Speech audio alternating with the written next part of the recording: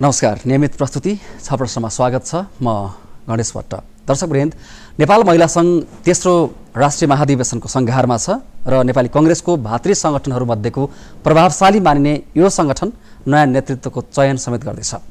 सात सालको ऐतिहासिक क्रान्तिदेखि नै पुरुषहरूसँग काँधमा काँध मिलाएर प्रजातन्त्रका लागि लडेका नेपाली महिलाहरूको संवाहक शक्ति नेपाल महिला सङ्घले नेपालको विकास निर्माणमा न्यायोचित भूमिका भने खेल्न पाएको छैन। यद्यपि महिला सङ्घले प्रजातन्त्र र लोकतन्त्रको दिगो विकासका लागि आफ्नो भूमिकालाई ओझेलमा भने भने पारेको छैन।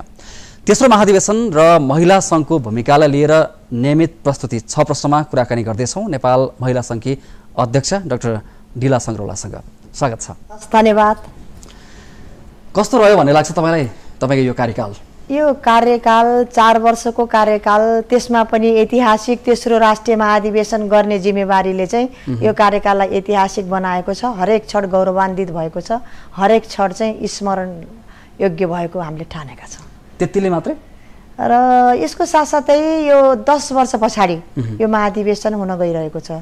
हामी एउटा तदर्थ समिति रहेर पनि एउटा पूर्णकालीन रूपमा निर्वाचित समितिले गरेको हारहारीमा त्योभन्दा एकदम राम्रो काम गरेर हामी आयौँ। कार्यक्रमले विचारले पनि महिला सङ्घलाई हामीले डोरायौँ र सङ्गठनको तल्लोदेखि माथिल्लो निकायसम्म सङ्गठन र सुदृढीकरण र विस्तार अभियानलाई पनि लग्यौँ।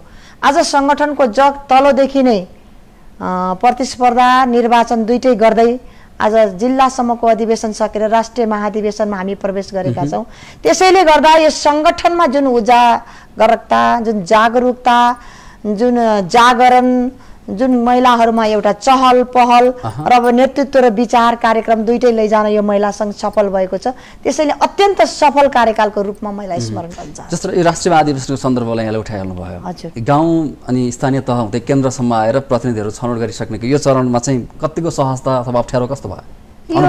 यो अनुभव चरणमा नेपाल महिला सङ्घको पहिला सङ्गठन बनाउने चरणमा चाहिँ हामीलाई कठिनै रह्यो।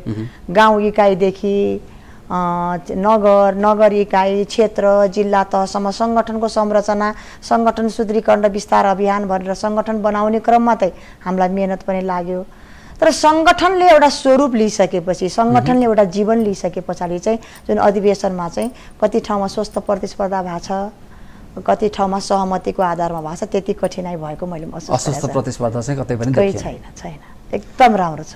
तपाईँ अध्यक्ष रूपमा त्यसो भनिरहनु भएको कि वास्तवमै गाउँ समितिदेखि केन्द्रसम्म आउँदाखेरि यहाँसम्म आइपुग्दाखेरिको यो दूरी अथवा यो समय अवधि सहज ढङ्गले नै यहाँसम्म आइयो एकदम सहज ढङ्गले। एउटा चाहिँ महिला सङ्घमा सबै नेताहरूले भन्ने पनि गर्नुहुन्छ।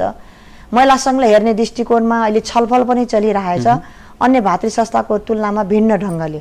हामीले चाहिँ यो पार्टीभित्र मौलाएको गुटबन्दी त्यसलाई पनि अन्त्य गर्दै चाहिँ एकताको महाधिवेशन बनाऊ भनेर जुन चार वर्षमा चाहिँ हामीले अहोरात्र सबैलाई एउटै मालामा डोराएर एउटै विचारमा एउटै अभियानमा महिला सङ्घले दिएका कार्यक्रममा विचलन नभएर यो पैँतालिस सदस्यीय केन्द्रीय सदर समिति यसले दिएका नीति निर्देशनमा चाहिँ सम्पूर्ण जिल्ला समिति चल्यो। यो नै यसको सफलताको कडी हो जस्तो मलाई लाग्छ। तर त्यस्तो देखिन्छ र किनभने तपाईँहरूको अथवा नेपाली कङ्ग्रेसकै भातृ सङ्गठन नेवी सङ्घकै कुरा गऱ्यौँ अथवा जुनसुकै सङ्गठनमा पनि जतिसुकै एकताको महाधिवेशन भने पनि त्यहाँ गुटबन्दी नै हाबी भएको हामीले नेवी सङ्घको महाधिवेशनमा पनि देख्यौँ राम्रैसँग तपाईँ दाबीका साथ भन्न सक्नुहुन्छ र महिला सङ्घमा त्यस्तो छैन हामी एक छौँ। होइन हामी एक छौँ। एक हामी चाहिँ सङ्गठन बनाउने क्रममा हामी एक रह्यौँ। अधिवेशन गराउने क्रममा हामी एक रह्यौँ। नीति र विचार दिने क्रममा हामी एक रह्यौँ। अब आज आइरहेको छ नीति त यो हाम्रो तेस्रो राष्ट्रिय महाधिवेशनको नेतृत्व चयनको कुरा पनि आछ नीति तथा कार्यक्रमको कुरा पनि आइरहेछ। यो दुग्ले दुवै बेग्लै पाटोमा चाहिँ अब चाहिँ महाधिवेशन भन्दा बित्तिकै नेतृत्वको चयन पनि हो त्यसले लिने नीति र कार्यक्रम पनि त्यही कारणले गर्दा चाहिँ नीति र कार्यक्रममा हामीले चाहिँ अहिले चाहिँ हेर्दा चाहिँ नेता म बन्छु म उड्छु भन्ने हामीलाई कसले भन्नै आएको छैन। त्यस कारणले गर्दा चाहिँ नेपाल महिला सङ्घले चार वर्ष जुन विचार लिएर हिँड्यो नि जुन विचार गोष्ठी लिएर एउटा विचार लिएर हिँड्यो त्यही विचारको सेरोफेरोमा महिला सङ्घ अगाडि बढ्या हुनाले द्रुत गतिमा अहिले नेतृत्व चयन भन्दा पनि विचार र नेतृत्व कार्यक्रममा चाहिँ छलफल भएको छ। किनभने आजभन्दा डेढ वर्ष अगाडि जुन हामी अधिवेशनको क्रममा थियौँ हामीले लैजाने विभिन्न प्रस्तावहरू हामीले पाँच विकास क्षेत्रमा छलफल गराएर उनको सुझाव गराएर आज डेढ वर्षमा छलफल गराएर आएको नीति तथा कार्यक्रम अहिले पस त्यसैले गर्दा चाहिँ अब चाहिँ नेतृत्व चयन त स्वाभाविक हो यसले गर्छ। नेतृत्व भन्दा पनि नीति र कार्यक्रमलाई यसले फोकस गर्छ। जस्तो नीति कार्यक्रमकै कुरा गरिहाल्नु भयो बढी जसो महाधिवेशनहरूमा नीति तथा कार्यक्रम अलि ओझेलमा पर्ने नेतामुखी बढी हुने त्यो यहाँको मात्रै सन्दर्भ होइन बढी जसो त्यो देखिन्छ। नीति तथा कार्यक्रमकै विषयमा अहिले छलफल चलिरहेछ तपाईँहरूको यो राष्ट्रिय महाधिवेशनको संज्ञानमा आउँदाखेरि कस्ता खालका नीति कार्यक्रमहरूमा जोड दिनुपर्छ भन्ने मान्यता राख्नुहुन्छ तपाईँ? हामीले एउटा चाहिँ राजनीतिक प्रस्तावमा सहभागितालाई जोड दिएका छौँ हेर्नुहोस्। अहिलेसम्म प्रतिनिधित्व। र सहभागितालाई जोड दिएका छौँ। अहिलेसम्म नेपालको परिप्रेक्ष्यमा हेर्ने हो भने अहिले आएको संविधानलाई पनि हेर्ने हो भने चाहिँ त्यहाँ चाहिँ तेत्तिस प्रतिशतको महिला अधिकार दिइसकेका छ। केन्द्रमा पनि तेत्तिस प्रान्तमा तेत्तिस र स्थानीयमा चाहिँ चालिस प्रतिशत भनेको छ। तर यो संविधानले त दियो नि प्रतिनिधित्व। यसमा पनि यो प्रतिनिधित्वको रेसियोमा चाहिँ नेपाली काङ्ग्रेसले आफ्नो सङ्गठनभित्र महिलाको प्रतिनिधित्व गराउन सकेका छैन तेत्तिस म प्रतिशत। त्यही विषयमा जाँदै। त्यसै कारणले गर्दा चाहिँ हामीको पहिलो जोड। तेत्तिस प्रतिशत हाम्रो लडाइँ होइन। हाम्रो लडाइँ पचास प्रतिशत हो। पार्टीभित्र पनि पचास हो। र हामी यता चाहिँ संविधानमा हामी भनेका छौँ केन्द्रमा तेत्तिस हामी मन्जुर छौँ प्रान्तमा चालिस हामी मन्जुर छौँ स्थानीय निकायमा पचास प्रतिशत मेयर उपमेयर अध्यक्ष उपाध्यक्ष त्यसलाई यो प्रस्तावलाई चाहिँ हामी फोकस गरेका छौँ। अर्को कुरा नीति निर्माण तहमा अहिले पनि रेसियोमा हेर्नुहोस् महिलालाई तेत्तिस प्रतिशत राज्यको हरेक संरचनामा लैजाने भनेको छ। महिला कहीँ पुग्न सकेका छैन कार्यान्वयन नै भएको छैन। त्यसलाई पनि नसके नलगेको यो पार्टीको नीति र पोलिसी नभएको कुरा त्यसै कारण यसलाई पनि हामी स्ट्रेस साथ चाहिँ यो महाधिवेशनमा हामीले उठाएका छौँ राजनीति प्रस्ताव एउटा। अर्को कुरा चाहिँ महिलाहरूलाई चाहिँ हामीले उठान गरेको विषयवस्तु भनेको चाहिँ आर्थिक प्रस्ताव पनि हो। अहिले हेर्दै जानुहोस् महिलाहरू किन पछाडि परे? आफ्नो खुट्टामा आफै उभिन सकेका छैनन्। त्यो खालको सबलीकरण र सशक्तिकरणको हामीले कार्यक्रम दिन सकेका छैनौँ। त्यसैले चाहिँ शिक्षा स्वस्थ रोजगार नेपाली महिलाका बाँच्ने आधार हुन्। यसलाई चाहिँ हामीले द्रुत गतिमा लैजानुपर्छ भनेर आर्थिक मोडल पनि बिपीको प्रजातान्त्रिक समाजवादको माध्यमबाट नै नेपाली काङ्ग्रेसले त्यो मोडल र महिला सङ्घले लैजानुपर्छ भनेर नारा आर्थिक कारण पनि हामीले लिएका छौँ आर्थिक प्रस्ताव। अनि अर्को सामाजिक प्रस्तावमा पनि के छ भने अहिले पनि तपाईँ हेर्नुहोस् हेर्नुहोस् समाज अहिले पनि विवादपूर्ण छ। समाजमा अहिले पनि दिन प्रतिदिन पाँच वर्षको बच्चादेखि एकहत्तर वर्षको आमामाथि बलात्कार भइरहेछ। अहिले पनि हाम्रा चेलीहरू बेचबिखन भएर विदेशिएका छन्। अहिले पनि छाउपाटी प्रथा बोक्सी प्रथा दाइजो प्रथा कमलरी प्रथा हटेको छैन। यो सबै चाहिँ अब चाहिँ यो- समाजबाट निमिट्यान्न हुनुपर्छ र हिंसाको न्यूनीकरण हुनुपर्छ। त्यो खालको चाहिँ हामीले सामाजिक प्रस्तावमा पनि लिएका छौँ। त्यसै गरी कि हे स्वास्थ्यमा अहिले हेर्नुहोस् न महिलाहरू अकाल मृत्यु भइरहेछ। मातृ मृत्यु दर पनि न्यून हुन सकेका छैन। शिशु मृत्यु दर पनि न्यून हुन सकेको छैन। प्रजनन स्वास्थ्य महिलाको अधिकार हो भनेको छ। त्यो अधिकार महिलाले अझै प्राप्त गर्न सकेका छैनन् हेर्नु त्यस कारण स्वास्थ्य सम्बन्धी प्रस्ताव पनि हामीले ल्याएका छौँ। सङ्गठन सम्बन्धी प्रस्ताव पनि हाम्रो छ।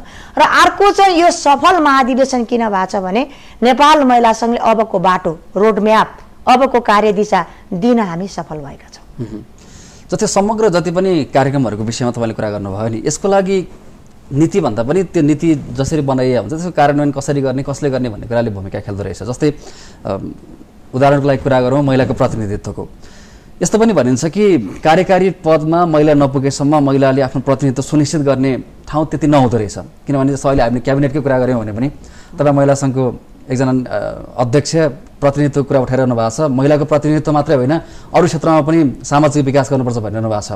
त हेर्नुहोस् त तपाईँकै पार्टीले कतिजना महिला नेत्रीलाई क्याबिनेटमा पठायो। अनि तपाईँको एजेन्डालाई तपाईँको पार्टीले नै सघाइरहेको छैन अनि कसरी भन्दै हुनुहुन्छ कि कुरा? मैले अघि नै तपाईँलाई भनिसकेँ। मैले आफ्नै पार्टीभित्रको कुरा पहिलो चरणमा उठाएको छु। हामीले नेपाली काङ्ग्रेसको तेह्रौँ महाधिवेशन आउने सङ्घारमा नै जुन विधान संशोधनको प्रस्ताव ल्याएको थियो नेपाल महिला सङ्घले देशैभरि विचार गोष्ठी गरेर तेत्तिस प्रतिशत हाम्रो संरचनामा विधान संशोधन गरेर ल्याउनुपर्छ भन्यौँ हामीले हामीले जोड पनि दियौँ लिखित प्रस्ताव पनि दियौँ देशभरि दबाब सिर्जना गऱ्यौँ त्यही पुरानो विधान अनुसार के बन्यो? तेह्रौँ महाधिवेशन भयो। अहिले फेरि सरकार परिवर्तन भयो। नेपाली काङ्ग्रेस पनि सरकारको एउटा हिस्सा एलायन्स छ नि ठुलो। दल। त्यहाँ पनि हामीले भन्यौँ अब संविधानले तिसिसक्यो तेत्तिस प्रतिशत त्यो उठाइरहनु अधिकारलाई। हामीले आवाज उठाएर तेत्तिस प्रतिशत महिलालाई मन्त्री दिनु पर्यो कार्यकारिणीमा पुर्याउनु पर्यो। भन्न जाँदा चाहिँ एकजना चाहिँ सीतादेवी यादव पुग्नु भएको छ। त्यसै कारणले गर्दा हामीले दोहोरो लडाइँ लडेका छौँ। एउटा लडाइँ हाम्रो पार्टीभित्र आन्तरिक लडाइँ छ। दोस्रो लडाइँ समग्र राष्ट्रभित्र छ हाम्रो इस्युको लागि। अन्य दलको महिलाको पनि हामी हातमा हात र काँधमा काँध त्यसकारणले गर्दा कि एउटा यो बाह्य लडाइँको लागि। एउटा तागत बटुल्नुपर्छ हेर्नुहोस्। म चाहिँ हरेक दलभित्र पनि मैले भन्ने गर्छु महिलाको मुद्दा महिलाको इस्यु महिलाको अधिकार महिलाको बाटोको लागि हामी एकाकर पनि हुनुपर्छ।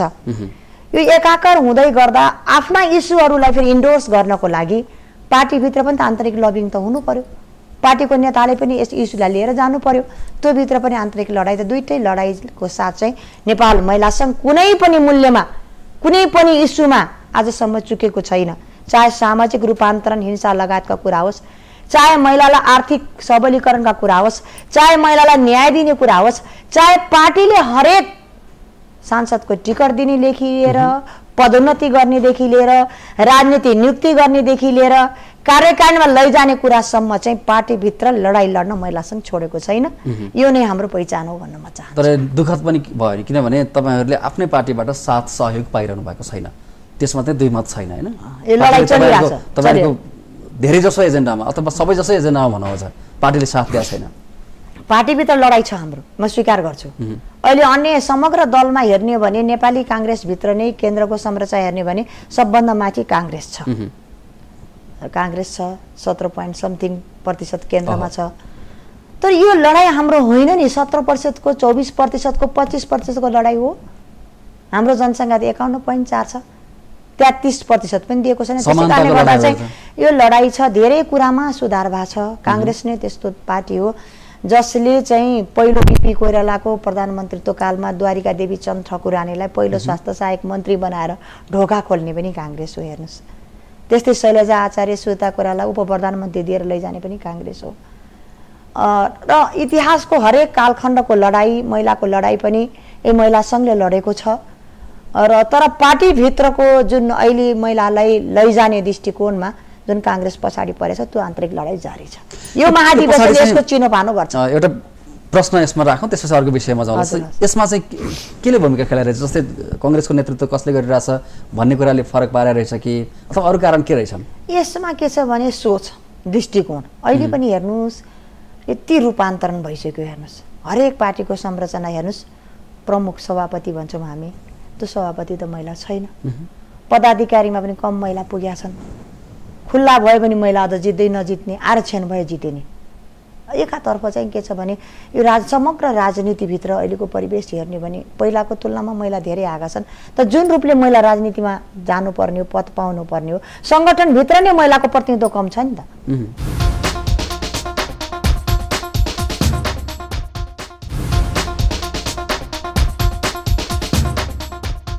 ठिक छ महाधिवेशनमै केन्द्रित हौँ। अब यहाँहरूको तेस्रो राष्ट्रिय महाधिवेशन कस्तो रहला?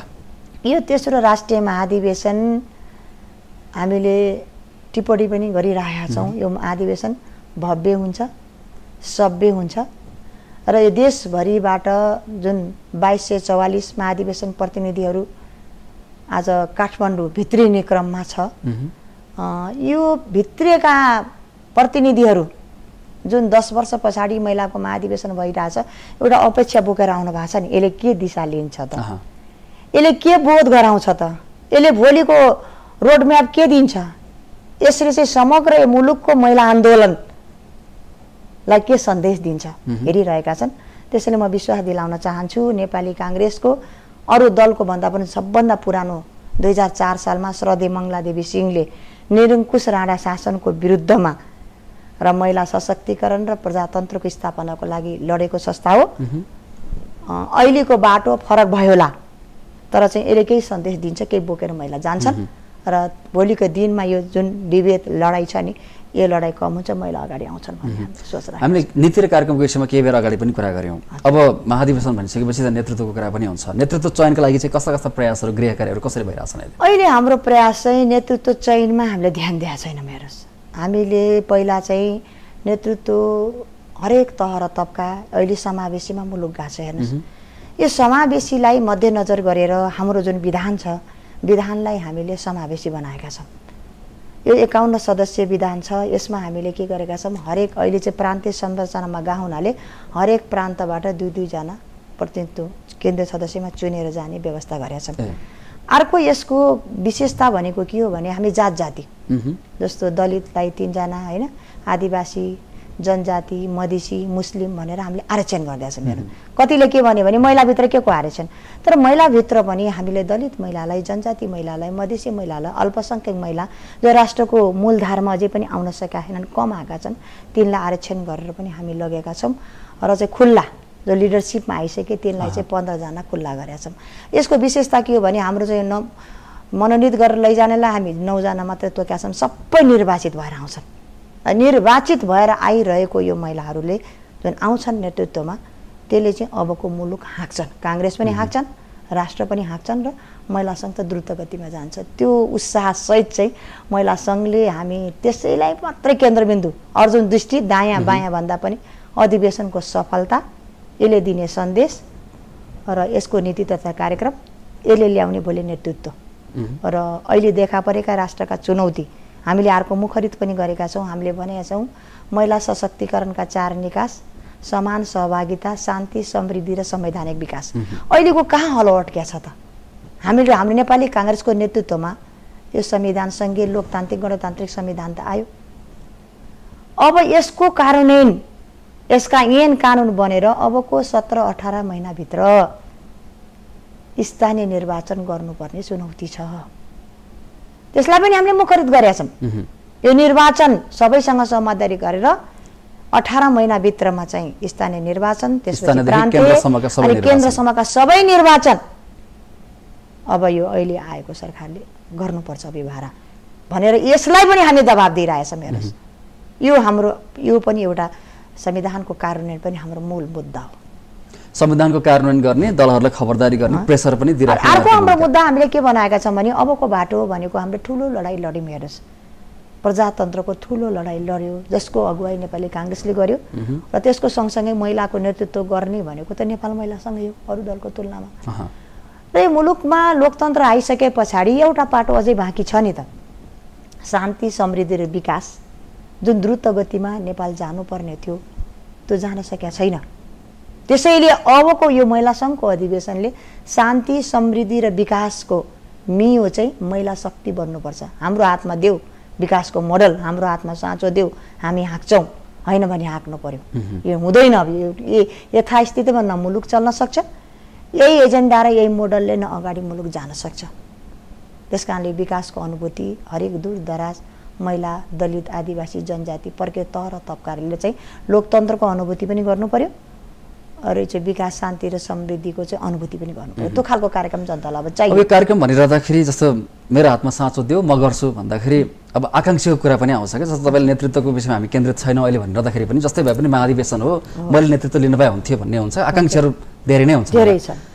नेविसङ्घ महाधिवेशन जस्तो त हुँदैन नि हुँदैन। यो नेविसङ्घको महाधिवेशन अब आफ्नै तपाईँले पनि देख्नुभयो।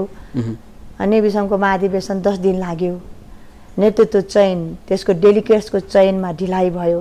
हाम्रो चाहिँ के छ भने महिला सङ्घले चौसठी जिल्लाको यो तपाईँले म आज मिडिया मार्फत पनि टेलिभिजन मार्फत पनि एउटा कुरालाई के स्ट्रेस गर्न चाहन्छु भने नेपाली काङ्ग्रेसको आदर्श र सिद्धान्त महिला सङ्घको आदर्श सिद्धान्त एउटै हो। नेपाली काङ्ग्रेस तिन सालमा जन्म्यो महिला सङ्घ चार सालमा जन्म्यो।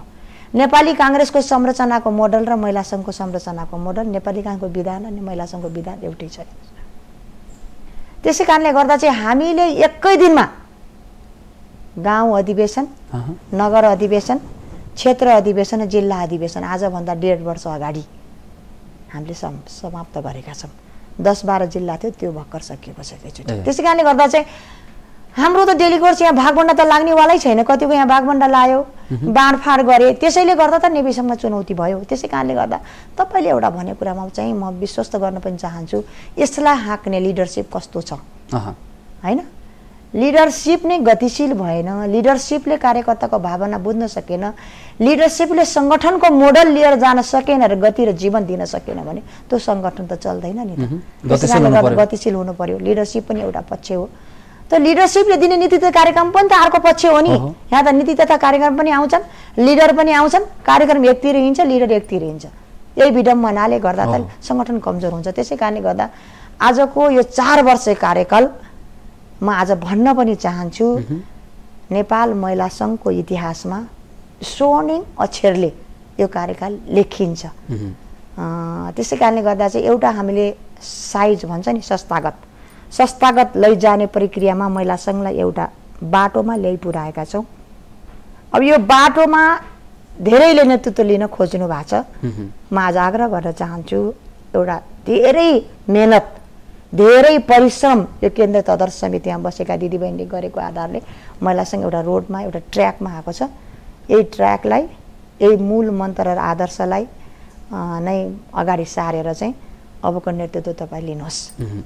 अब यो जुन ट्र्याकमा तपाईँले ल्याइ पुर्याउनु भएको छ चार वर्ष कार्यकालमा अब एक ट्र्याकलाई मैले यसरी नै अझै राम्रोसँग लैजान सक्थेँ भन्ने भिजन त तपाईँसँग थियो होला तर विधानले अब यही कमिटीका साथीहरूलाई अगाडि बढ्ने बाटो बन्द गरिदिएछ होइन? यो? विधानमा होइन यो कस्तो छ भने एउटा डिबेट छ हेर्नुहोस्। यो डिबेट डिबेट मात्रै हो कि विधानमै डिबेट हो विधानमा छैन। विधानमा कहीँ पनि हामीलाई रुकावट छैन। ए। कुनै पनि विधानले मतदाता हुन सक्ने उम्मेदवार नहुने भन्ने आउँदैन। हामी लोकतान्त्रिक पार्टी हो लोकतन्त्र मूल्य पनि महिला सङ्घ हो। त्यसै कारणले गर्दा चाहिँ एउटा कुरा उठिराखेका छ जुन बेला हामी तदत्त समिति बनेर महिला सङ्घमा हामी आयौँ त्यस बेला तत्कालीन सभापति आदरणीय सुशील कोइराला हुनुहुन्थ्यो। उहाँले चाहिँ छ महिनालाई चाहिँ उठ्न नपाउने गरी र तेस्रो राष्ट्रिय महाधिवेशन सक्ने गरी यो जिम्मेवारी दिनुभएको थियो। यही डिबेट उठाइरहनु भएको छ कि हामी साथीभाइ एउटा लडाइँ छ यो लडाइँ हामी अधिवेशन त गर्छौँ तर यो लडाइँ चाहिँ। जीवन्त छ। छ महिनालाई दिनुभयो। हामी अधिवेशन तयार गर्न खोज्यौँ। नेताका कारणले हामीलाई चार वर्ष त्यही ठाउँमा झुन्डाएर राख्नुभयो। न अगाडि जान दिनुभयो न पछाडि हट्न दिनुभयो। आज त्यही निर्णय तेह्रौँ महाधिवेशन भइसक्यो। बाह्रौँ महाधिवेशनको सुशील कोइरालाले गरेको निर्णय जीवन्त छ भनेर यो तदर्थ समितिलाई लोकतान्त्रिक पार्टी मूल्य बोक्नेले उठ्न पाइँदैन भन्दा हामीले स्वीकार गरेका छौँ। तर यो लडाइँ हामी लड्छौँ। यो लडाइँ नेपाली काङ्ग्रेसको इतिहासमा के निर्णय लिए नेताले? जसले सङ्गठन चलायो जसले संरचना निर्माण गर्यो त्यसले उठ्न नपाउने निर्णय भोलि लोकप्रिय हुन्छ कि अलोकप्रिय? नेपाली काङ्ग्रेसको इतिहासमा कुन अक्षरले लेखिन्छ त्यो समयले मूल्याङ्कन राष्ट्रिय महाधिवेशनको लागि त त्यही निर्णय अनुसार नै अगाडि बढ्ने भयो भन्छ अब। त्यो समयले मूल्याङ्कन गर्छ यो लडाइँ हाम्रो आन्तरिक छँदैछ तर यो लडाइँलाई पनि थाँती राखेर हाम्रो अहिले अर्जुन दृष्टि। हाम्रो अहिले केन्द्रबिन्दु हाम्रो प्राथमिकतामा चाहिँ नेपाल महिला सङ्घको तेस्रो राष्ट्रिय महाधिवेशन भाद्र उन्तिस गतेको समुद्घाटन कार्यक्रम भ्रिकुटी मण्डप। तिस गतेको बन्द सेसन भ्रिकुटी मण्डप एकतिस गतेको चाहिँ निर्वाचन राष्ट्रिय सभागिरी र आउनु आइरहेका जति पनि प्रतिनिधि छन् तिनको भव्य स्वागत र व्यवस्थापन र एउटा एउटा म्यासेज दिने खालको बनोस् भन्नेमा मात्रै हामीले ध्यान दिएका छौँ। भनेपछि यो महाधिवेशनमा तपाईँ अध्यक्षको प्रत्याशी अब हुनुहुन्न छैन। अर्को नयाँ व्यक्तिलाई तपाईँलाई हस्तान्तरण तर जुन विषयमा हामी अहिले कुरा गऱ्यौँ दोहोऱ्याएर फेरि लड्न नपाउने भन्ने विषयमा यहाँहरूको आन्तरिक लडाइँ चाहिँ कायम नै छ। त्यो छ। तपाईँहरूले मान्ने हुँदैन? त्यो जारी छ हाम्रो। जारी छ लडाइँ बेग्लै छ। हाम्रो अधिवेशन यो बेग्लै छ यसलाई असर गर्दैन यसले। हामी अन्त्यमा आइपुगेका छौँ। अब महिला सङ्घको लक्ष्य के छ योजना के छ अबको बाटो के छ छोटकरीमा? अबको बाटो भनेको अहिलेको रोडम्याप हामीले अगाडि सारेको चाहिँ अहिलेको जुन संरचना छ नि bottom to top. Top to बटममा Congress पनि हिँडिरहेको छ तर हामीले अब चाहिँ टप टु बटममा चाहिँ गएर हुँदैन। कि बटम टु टप। के हो त्यो त भनेको तल्लो। निकायले के चाहन्छ त? गाउँ इकाइले के चाहन्छ? नगर इकाइले के चाहन्छ? क्षेत्रले के चाहन्छ? जिल्लाले के चाहन्छ? त्यो निर्णयहरू केन्द्रमा आइपुग्नु पर्यो। त्यो निर्णयको आधारमा केन्द्र नीति र पोलिसी बनाएर कार्यक्रम लैजानुपर्छ भन्ने एउटा कुरा छ हाम्रो।